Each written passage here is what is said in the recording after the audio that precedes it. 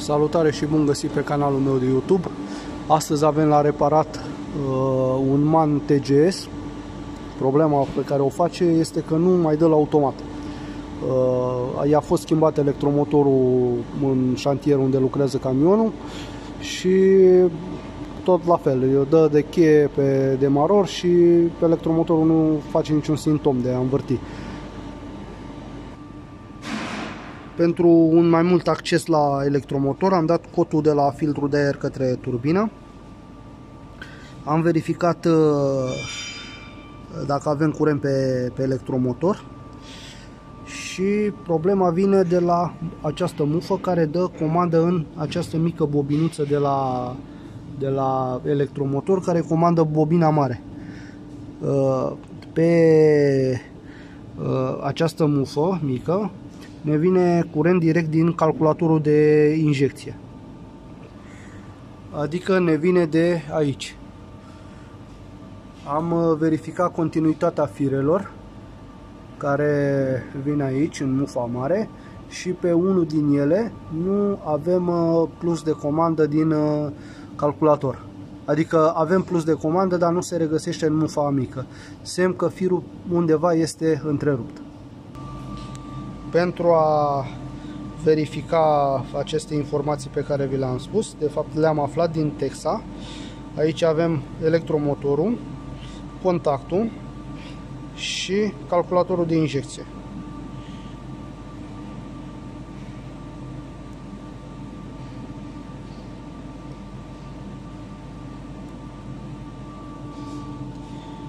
Avem uh, calculatorul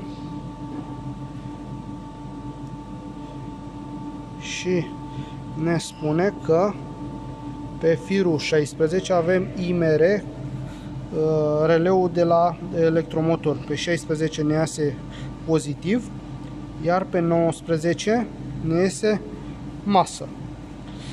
Adică avem pentru bobina mică avem uh, Uh, comandă și de plus și de minus direct din calculatorul de injecție.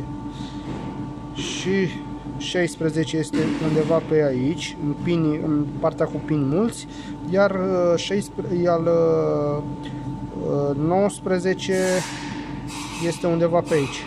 16 aici și 19 aici.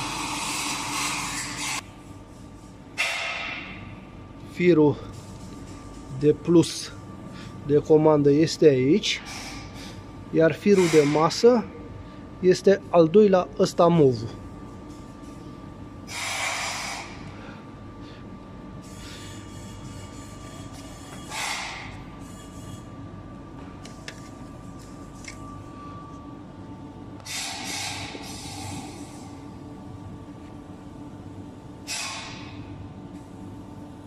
Acum voi proceda la Uh, desfacerea instalației electrice pentru a verifica. Eu am făcut o probă de pornire a mașinii legând peste motor acest uh, fir cu care am măsurat continuitățile direct din mufa uh, uh, calculatorului în mufa de comanda releului IMR de la electromotor și camionul pornește.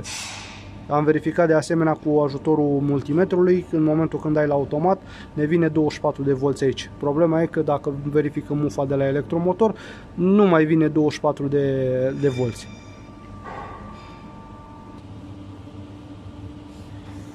Deci aici avem firul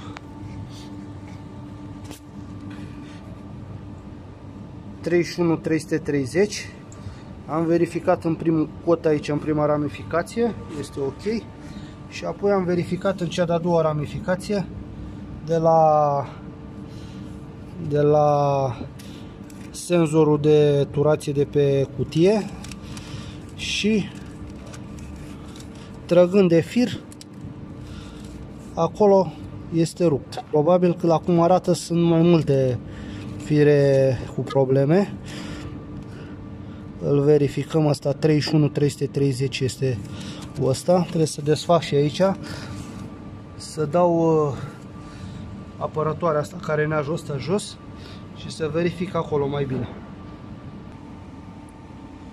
Am uh, desfăcut cablajul. Asta.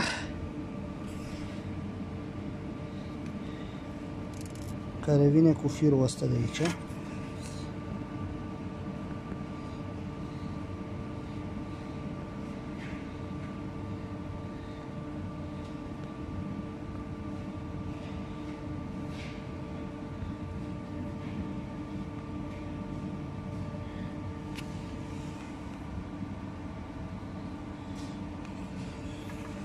Așa.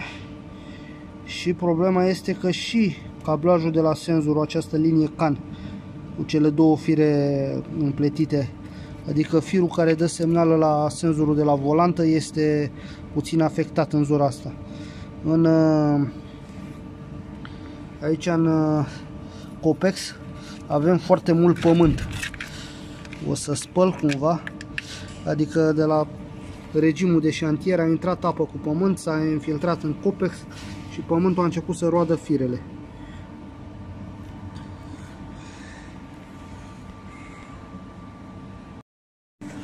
Trăgând de cabluri pe aici, am mai găsit un alt fir de acesta. Nu se vede codul prea bine pe el, care la fel era tocat de Copex mai avem pe ăsta de la senzorul de turație și ăsta de la electromotor. Restul par ok. Celelalte fire au fost în interiorul celor groase și ăștia au fost mai pe exterior în partea de jos și s-au frecat în Copex. Să trebuiască să mai spintec, să mai verific și să refac cablajele.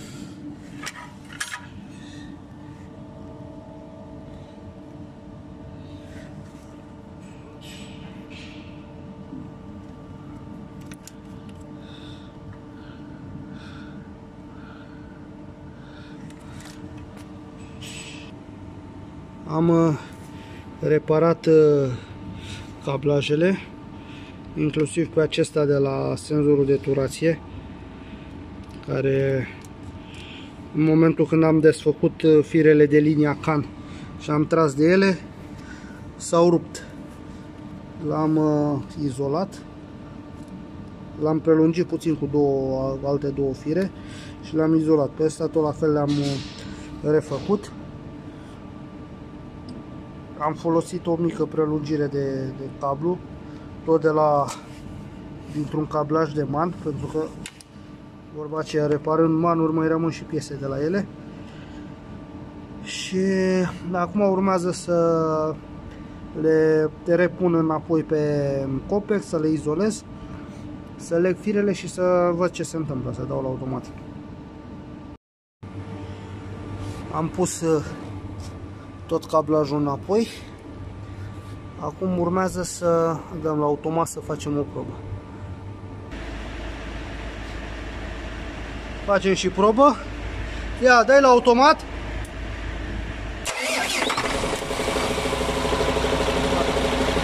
Pornește și totul e ok.